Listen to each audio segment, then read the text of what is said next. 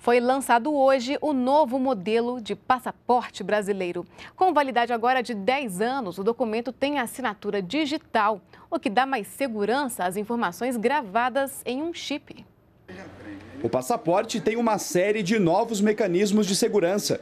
Os dados gravados no chip agora têm um novo padrão de criptografia, recurso que garante o sigilo das informações. Também foram realizadas modificações na capa e na imagem invisível fluorescente. O Brasil passou ainda a fazer parte do PKD, o Diretório de Chaves Públicas da Organização Internacional de Aviação Civil. Isso vai agilizar a verificação de autenticidade do passaporte brasileiro em postos de controle migratório no exterior e proporciona mais segurança aos viajantes. Conseguimos viabilizar uma facilidade maior para a população.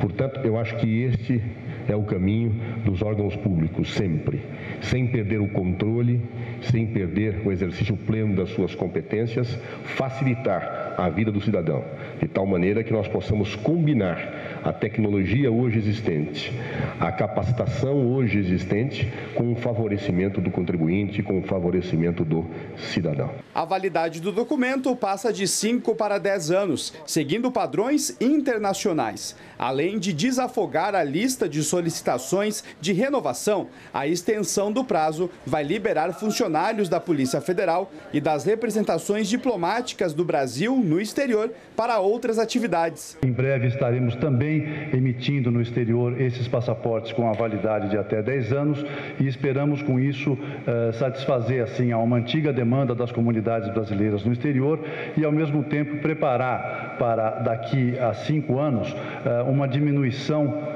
que vai ocorrer da demanda por esse tipo de documento no exterior, liberando assim recursos humanos e recursos materiais dos nossos consulados para outras atividades de natureza consular. E Nauri foi a primeira pessoa a receber o novo passaporte. Ficou feliz com a novidade. Para mim é um grande feito para a pessoa que já tem mais idade.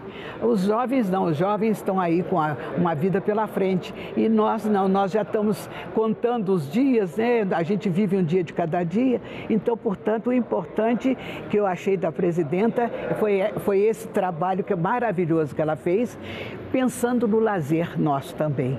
O valor da taxa de emissão do novo passaporte é de R$ 257,25. Quem fez a solicitação a partir da última segunda-feira, dia 6, já vai receber o modelo com as alterações.